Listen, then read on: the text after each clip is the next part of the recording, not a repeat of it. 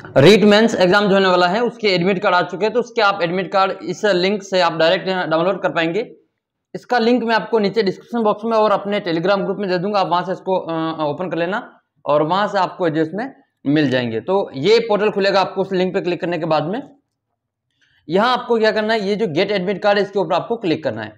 जैसे ही आप gate admit card के ऊपर क्लिक करेंगे, फिर आपके सामने ये ऑप्शन दिखाई देंगे एडमिट कार्ड के। जहाँ पर आपको कक्षा एक से पाँच अगर आप लेवल वन के हैं तो ये आपके दे रखा है? यहाँ पे लेवल वन वालों के लिए।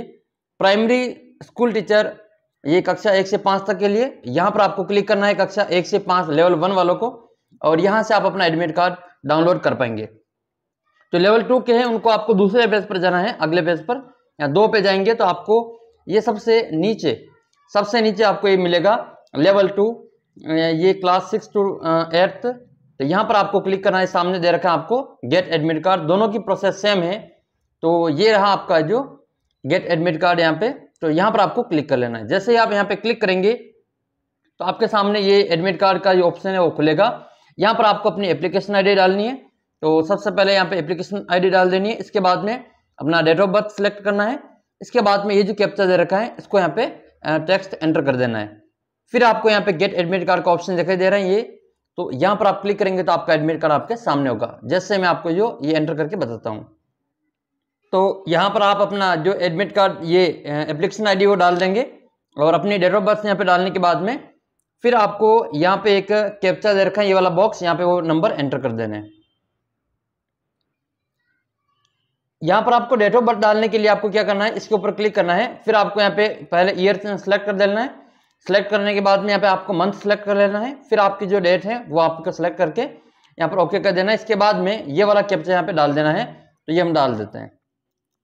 तो ये नंबर यहाँ पे एंटर करने के बाद में फिर आपको नीचे एक ऑप्शन दिखाई देगा गेट एडमिट कार्ड यहाँ पर आपको क्लिक कर लेना है। तो आप उसके ऊपर क्लिक करेंगे, आपके सामने इस प्रकार का आपका जो एडमिट कार्ड वो ओपन हो जाएगा। फिर आपको यहाँ पे इसकी पीडीएफ सेव कर लेनी है। फिर इसको आप ई से निकलवा लेना।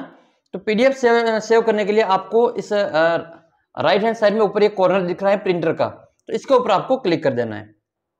जैसे ही आप उसके ऊपर क्लिक करेंगे तो आपके सामने यहाँ पे इस प्रकार का ऑप्शन आ जाएगा। फिर यहाँ पर आपको ये पीडीएफ डाउनलोड का ऑप्शन मिला, मिलेगा तो इसके ऊपर आपको क्लिक कर लेना है। ये पीडीएफ डाउनलोड का ऑप्शन आ जाएगा, इसके ऊपर आपको क्लिक कर लेना है। जैसे ही आप इसको क्लिक करेंगे, आपके सामने यहाँ पर सेव का ऑप्शन आ जाएगा और आप उसको सेव कर लेना। तो इस प्रकार से आपका जो पूरा एडमिट कार्ड है वो डाउनलोड होके आपके सामने हो जाएगा। मिलते हैं आपको अगले वीडियो में। और इसकी जो लिंक है, वो आपको डिस्क्रिप्शन बॉक्स में और टेलीग्राम ग्रुप पे डाल देंगे। वहाँ से आप उसको डाउनलोड कर लेना। मिलते हैं आपको अगले वीडियो में। तब तक जय हिंद, जय भारत।